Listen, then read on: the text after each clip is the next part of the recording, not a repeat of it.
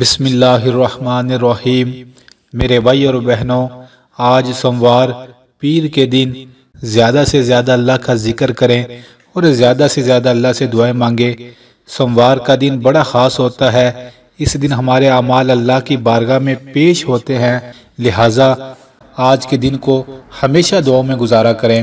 آج کے دن آپ ایک وظیفہ بھی ضرور کریں۔ دنیا کا کوئی مسئلہ ہو، کوئی غم یا پریشانی ہو اس وظیفے سے ضرور حل ہو جاتی ہے۔ کرنا آپ نے ایسے ہے، آج کے دن بھی اور ہمیشہ تنہائیوں میں بیٹھ کر دل کے ساتھ چاہے تین چار منٹ ہی صحیح درود ابراہیمی کو پڑھا کریں۔ میرے بھائی اور بہنوں، جتنی دیر آپ درود پاک پڑھتے رہتے ہیں، اتنی دیر اللہ کے فرشتے آپ کے لیے دعائیں کرتے رہتے ہیں۔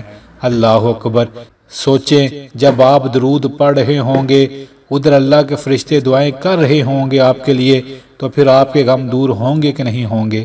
فرشتوں کی دعائیں مل جائیں تو اور کیا چاہیے؟ سوچیں، زندگی کے کتنے دن ہم نے ضائع کر دیے، بغیر درود پاک پڑے آئیے، آج نیت کرتے ہیں، جتنے دن باقی بچے ہیں، درود پاک روزانہ پڑھ کر گزارا کریں گے۔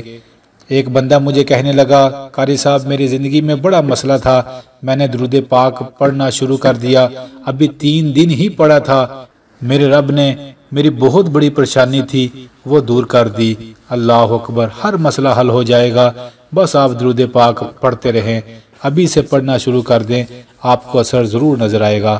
آخر میں دعا ہے رب العالمین سے، ان تمام بھائیوں اور بہنوں کے لیے دل سے جو کمنٹس میں دعا کا کہتے ہیں، جو نہیں بھی کہتے، اے رب کعبہ ہر انسان کے ہر غم اور پریشانی کو دور فرما دیجیے۔ آمین آمین۔